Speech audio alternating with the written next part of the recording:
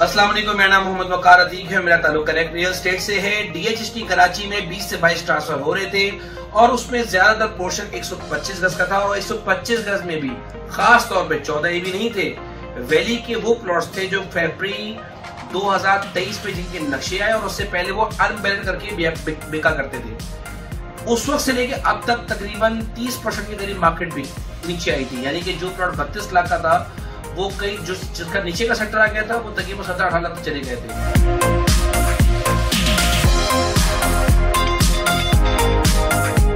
अब अगर मैं रेटों की बात करूँ तो पहले टाउन की एनओसी कैंसिल होने के बाद यहाँ एक एक डेढ़ लाख रुपए का फ़र्क आया है, यानी कि अगर कोई प्लॉट सेक्टर तेरह एफ़ में सोलह, साढ़े सोलह लाख रुपए का था तो उसको डेढ़ लाख रुपए उसमें बढ़ चुका है। साढ़े सोलह से डेढ़ लाख बढ़ने के बाद उसका रेट हो चुका है तकरीबन अठारह लाख रुपए। वहीं पर बारह ई बारह एफ़ बारह जी में जो प्लॉट साढ़े सोलह से साढ़े सत्रह लाख के दरमियान बिका करते थे, आज उनका रेट हो चुका है तकरीबन साढ़े अठारह, पौने उन्नीस लाख रुपए।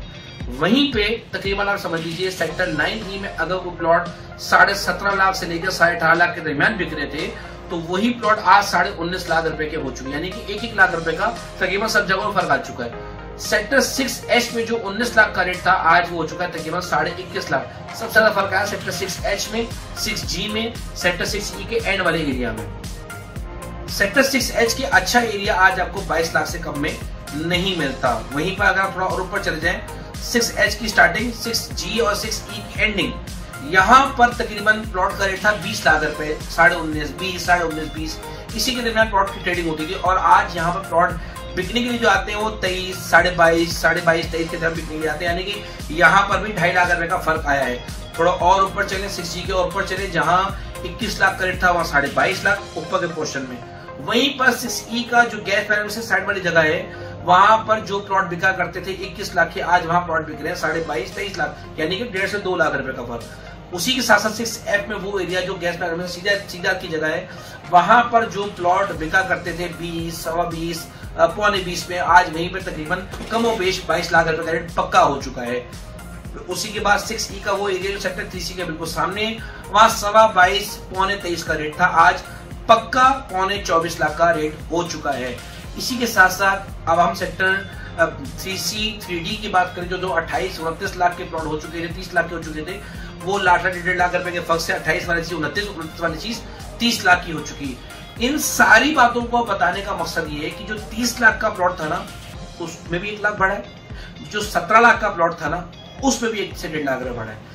ये बात मैं शुरू दिन से कहता आ रहा हूँ कि अगर कोई चीज़ बीस बाईस लाख रुपए की होगी तो उसमें भी पाँच लाख बढ़ेंगे। और अगर कोई चीज़ सत्रह लाख की होगी तो उसमें भी पाँच लाख बढ़ेंगे।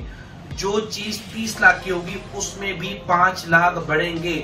तो बत्तीस, तैतीस लाख की फ़ाइल देने से बेहतर सत्रह सत्रह, अठारह लाख की दो फ़ाइल ले लो। तो आज उन लोगों को बेनिफिट हुआ है। इसी तरह से आज सत्रह लाख वाली फ़ाइल बीस लाख तक आ चुकी है। आपको क्या करना चाहिए? अभी भी बाइंग बंद थी। बहरिया टाउन में छोटे छोटे प्लॉट बिक रहे थे, बंद हो चुकी इकसठ, बासठ, तिरसठ बाइक सेलिंग नहीं हो रही। बहरिया में बाइक सेलिंग नहीं हो रही पिछले तेईस, चौबीस में बाइक सेलिंग होती थी, वो रुक गई है। लोग बातें नहीं कर रहे, पूछ नहीं रहे ट्रेडिंग के बारे में नहीं सोच रहे। तो वो लोग कहाँ जाएँगे? तो उसकी रोजी रोटी कमानी है ना? वो डीएचडी का अच्छी लाख, डेढ़ लाख से कोई फ़र्क नहीं पड़ता। ये पाँच पाँच लाख रुपए मार्केट बढ़ जाएगी। अगर बेडों कराची के ऊपर प्रेशर रहा तो। तो उन लोगों के लिए खुशाइन बात है, जिन्होंने कम रेटों में परचेजिंग की हुई है। आगे मार्केट बेहतर है। जजाकल्ला खैर।